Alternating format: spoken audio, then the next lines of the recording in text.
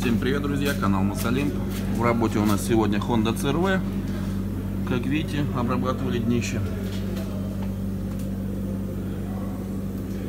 Нанесли мы такой сплошной ковер с пульверизатора. Толщина его достигает 4 миллиметров.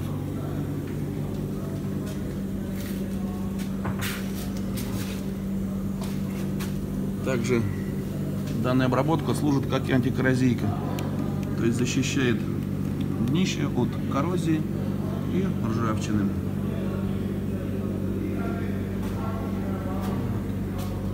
Срок службы, вернее гарантию даем на наши работы 3 года.